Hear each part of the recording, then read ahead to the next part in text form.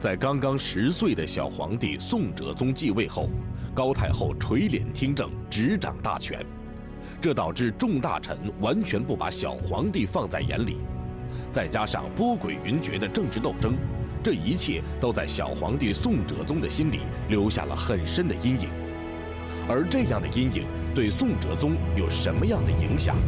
这一切又会给宋朝的政治带来什么样翻天覆地的变化呢？文化学者李亚平今日为您解答。说宋朝正在播出。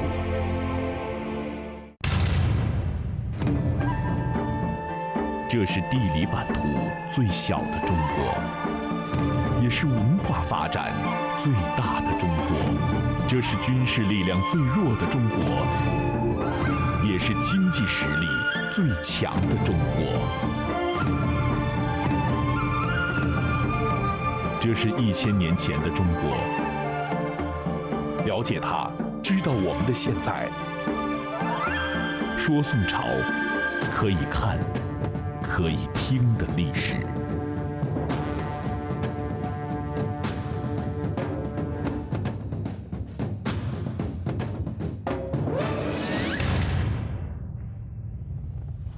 前面我们说到，呃，在十几岁的这个小皇帝宋哲宗的心里边，不停的在积累着一些对高太后和对司马光他们的这个很深的这个很可怕的这样的一种仇恨的能量。他的生活曾经是很很菲薄，没有把他像一个皇帝那样的享受这个皇帝的应该有的在生活上的待遇。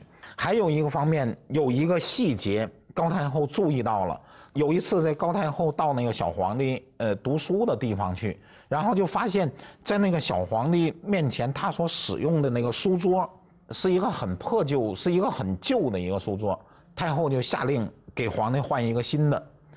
这个书桌换走了之后呢，那个过了几天，太后又去这个皇帝学习的地方、读书的地方，发现他用的还是那个旧的书桌。那么太后就。就问那些太监们，就在皇帝身边工作的那些那些工作人员，我不是告诉你们要给皇帝换一个新书桌吗？为什么不换？小皇帝，呃，回答那个太后说，他们给我换过了，但是我还是想用这个，因为这个书桌是我爹爹用过的，是我爸爸用过的，而大家知道，高太后主持国政了之后。他是把这个小皇帝的爸爸，就是宋神宗在世的时候所制定和推行的这些变法新政，完全废除掉的。按照中国古代的这个儒家的这种这种教义，有一条很重要的关于行孝的这么一呃这个这个里头有一条很重要的一个教义，就是三年不改为父之道，就是如果你的父亲去世了。你父亲生前所做的那些事情，他的那些做法，他的呃做的这些事情，当儿子的在三年之内你是不能改的。你要是如果在三年之内你把你父亲的那些东西给改掉了的话，那你就是不孝。所以叫三年无改为父之道。当时司马光和高太后准备要废除宋神宗时代的这些呃这些变法新政的时候，就曾经有人从这个角度。提出来过问题，就是反对他们这么做。司马光是怎么帮助高太后解开这个套的呢？司马光说：“现在是高太后在主持国政，不是子改父，而是母改子。”那么他这样一一一换这个概念，人们就闭上嘴了，就不能再说什么了。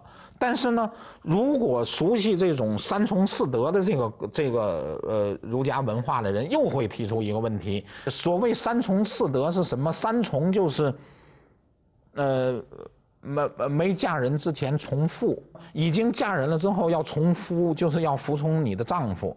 丈夫死了之后要从子，你就要服从你的儿子。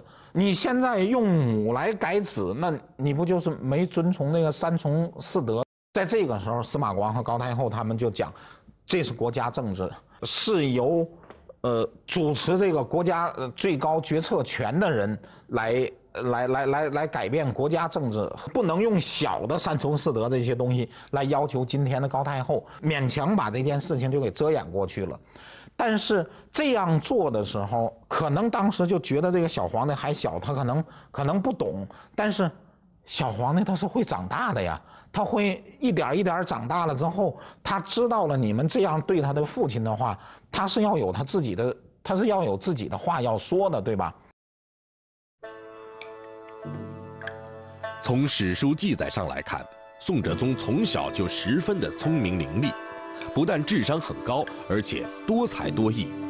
在六七岁时写出的字就让人连连称赞。宋神宗十分喜爱他，时常把他写的字拿给大臣们看。小皇帝宋哲宗和父亲宋神宗之间还有哪些故事呢？说宋朝正在播出。在宋真宗皇帝还没去世的时候，有一次挺正式的这个场合，这个皇帝就让那个就让那个小皇子，当时大概是只有六七岁、七八岁的样子，就让那个小皇子一起参加这个正式的这个文武百官都在的这个场合，呃，大概是一个那种国宴的场合呀，或者是一个接见什么人的一个场合。这个小皇帝在那个场合里边，据说是呃应对表现的特别得体。而且，呃，落落大方，所以那个神宗皇帝就喜欢他，喜欢的不得了，对这个小皇帝就呃宠爱有加，并且在所有的人的面前都要夸赞这个小皇帝。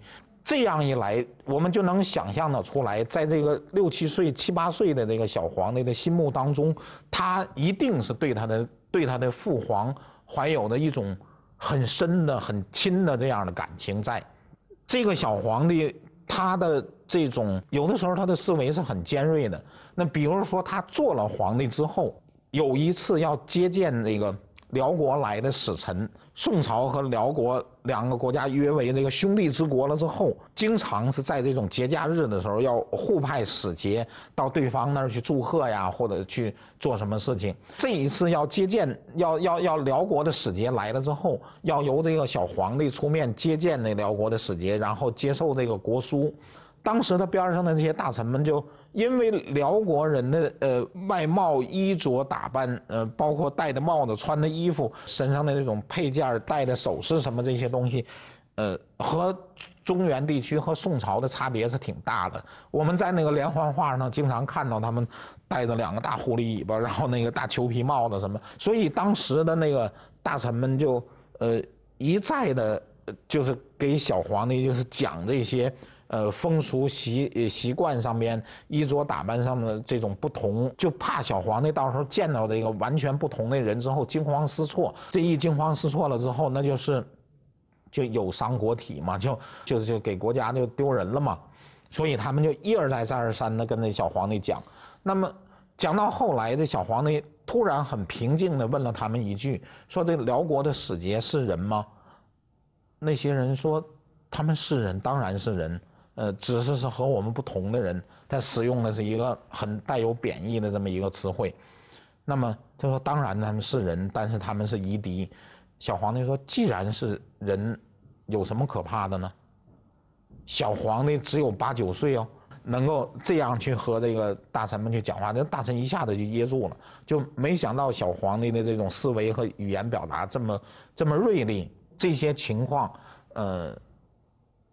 在高太后那儿的反应，对小皇帝的这样的一种心理的这种发育和发展，这个太后是有，呃，是有所觉察的。她后来曾经和他的那个文武大臣们讲过，说他和小皇帝聊天的时候，他经常给他的孙子就是讲怎么分辨好人和坏人，怎么分辨君子和小人。他说这个小皇帝从来不搭话，你说你说你的，他就他就听着。听了完了之后，他他也不回答，你也看不出来他心里边在想什么。